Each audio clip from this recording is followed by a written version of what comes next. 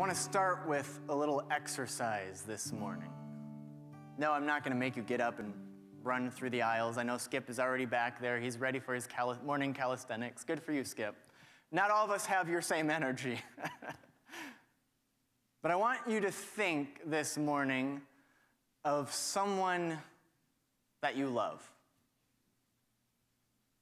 Have that person's face or their name come into your mind. Now, take a moment, you have that person, take a moment and think about why you love them.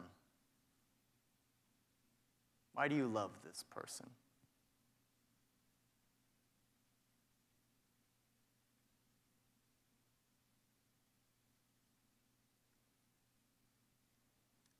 Now, give me a nod of affirmation so I know it's not just me.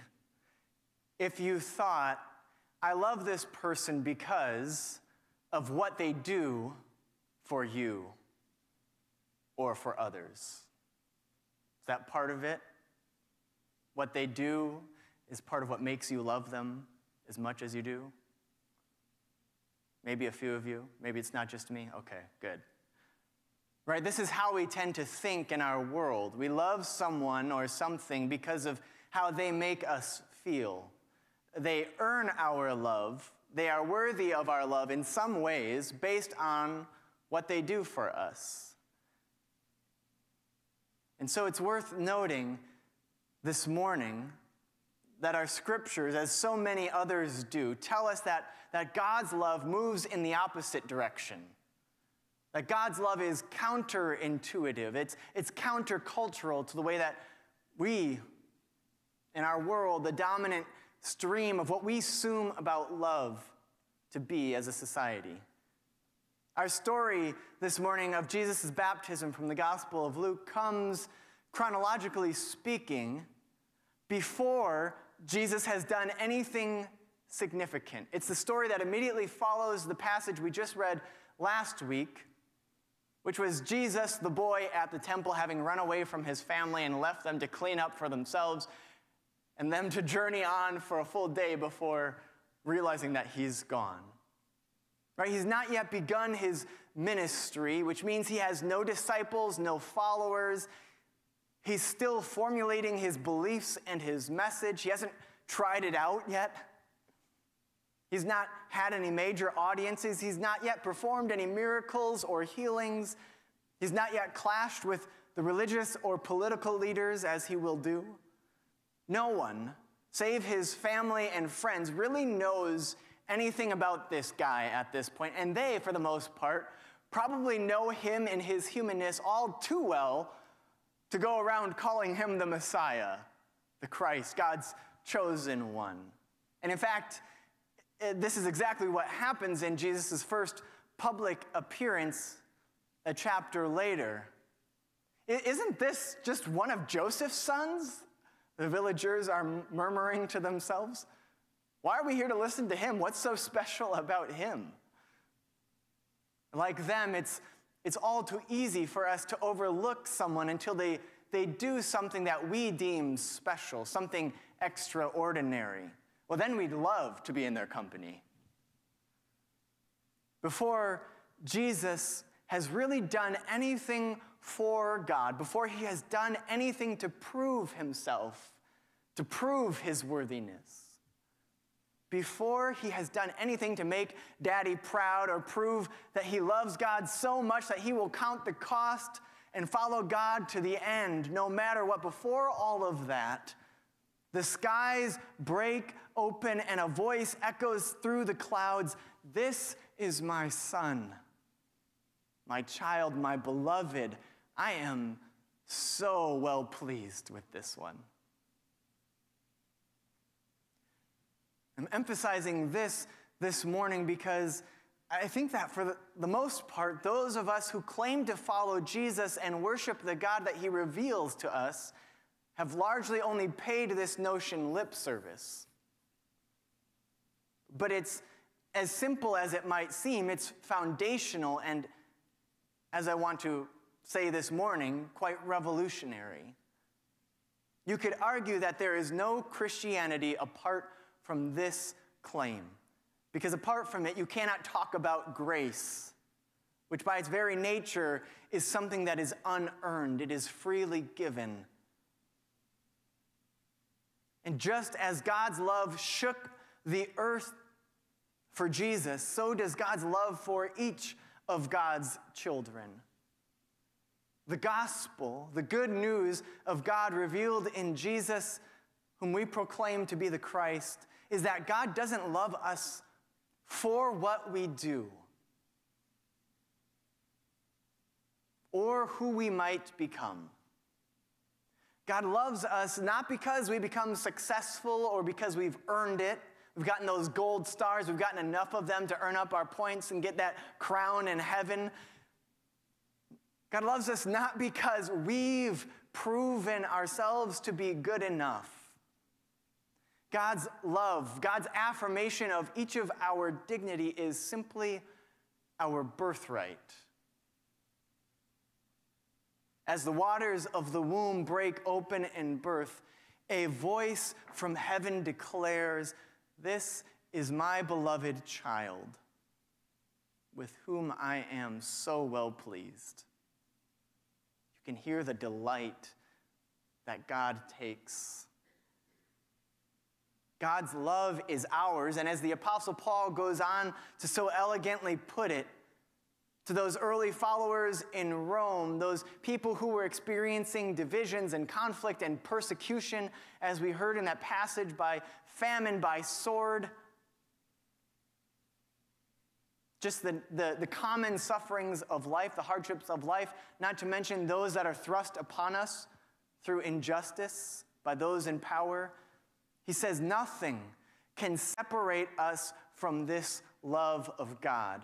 Nothing in this life we do or don't do, no suffering, no dehumanizing policies, no church's judgment or exclusion, no Christian or pastor's prejudice wrapped up in half baked theology, nothing, not even death, can separate us from the love that God has for us. Let the people say amen which means that God's love, God's declaration of infinite worth, is no less for those who've lied or stolen or murdered than for those who haven't. Which means that God's affirmation of beauty and belovedness is no less for the transgender child than it is for the heterosexual cisgender child. God's love is no less for God's, God's no less well pleased with the refugee or the undocumented than it is for those with papers or those living securely in the borders in which they were born.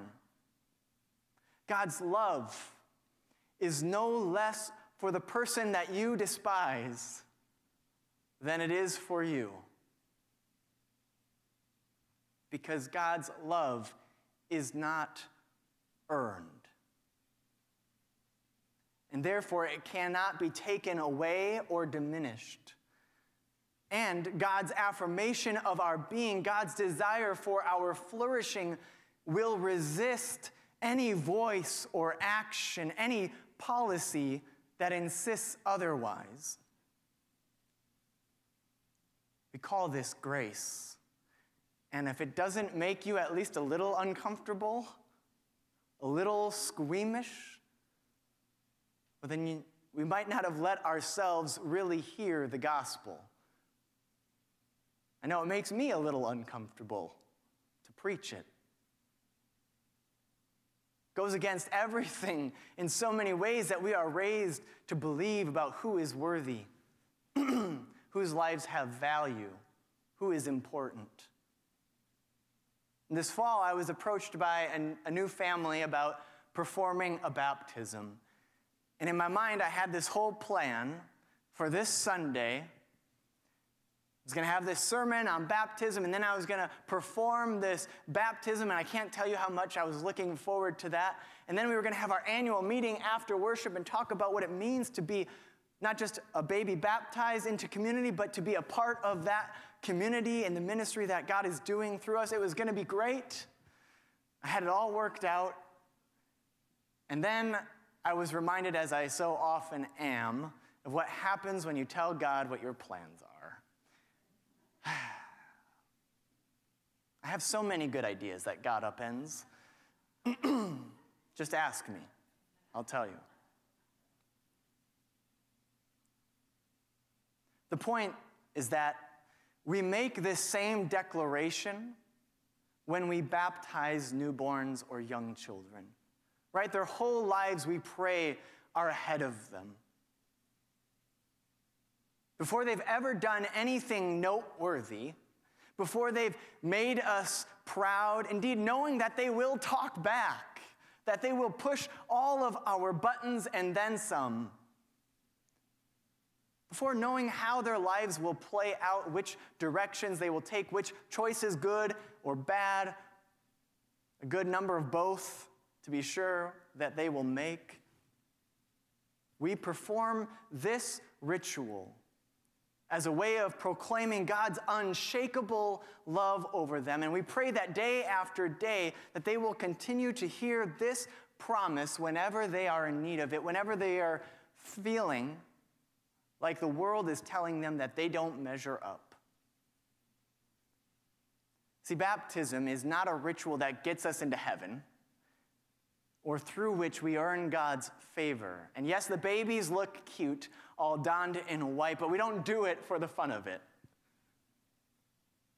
Baptism is a way of reminding ourselves of this birthright of belovedness with whom God is well pleased, that we all too easily lose sight of for ourselves and for others as the years wear on. Right? How often do we not struggle to believe this promise for ourselves, to let it define us rather than what others say of us?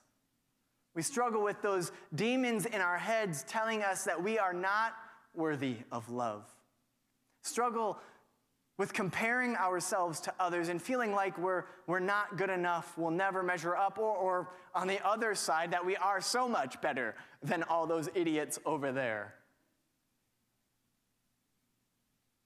Or we feel that if people really knew who we were, the mistakes that we've made, those things we keep in the shadows of our minds and hearts, that they would definitely reject us. God would definitely reject us. And so, one more exercise. Take a moment and think of something that you have done, something for which you are ashamed that you have carried with you like a weight on your shoulders, something for which you've never forgiven yourself, or something that you, you dislike or even hate about yourself that makes you feel unworthy of God's love.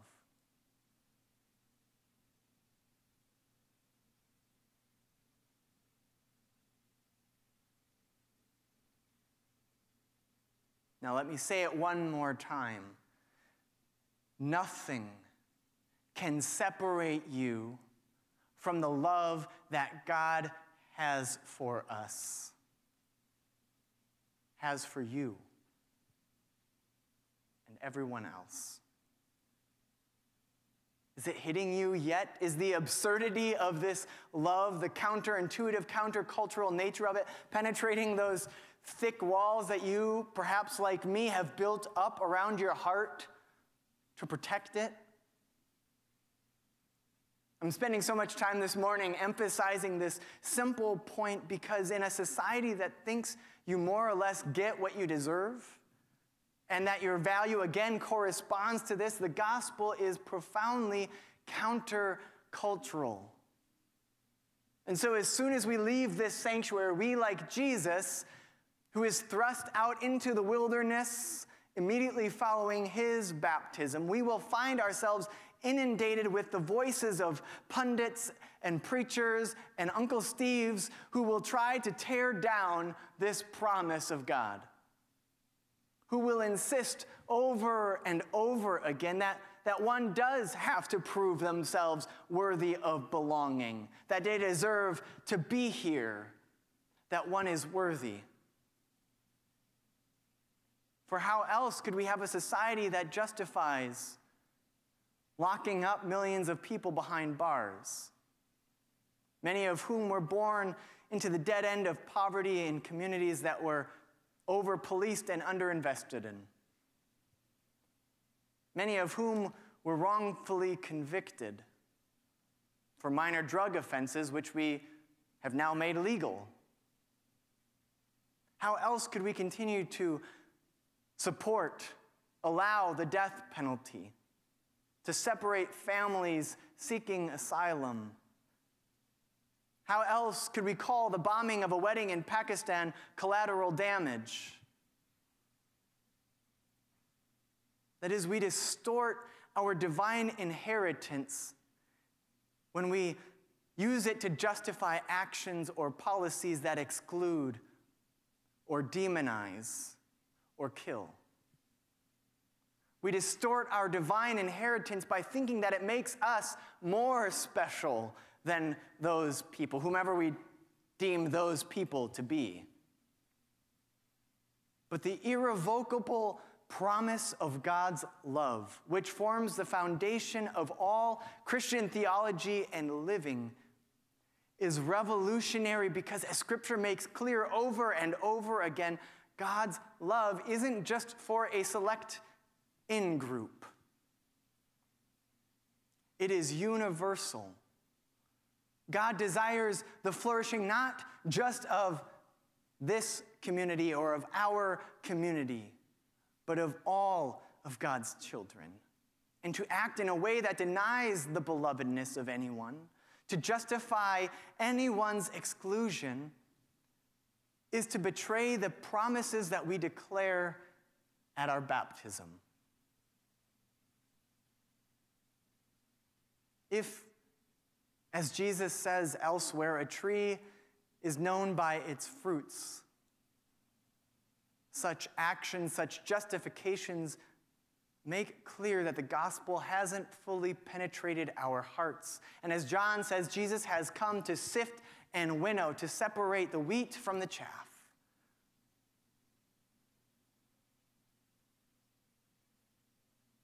If we think that we are better than others, our nation is better than others, then we've lost the humility that is required to experience God's transforming love.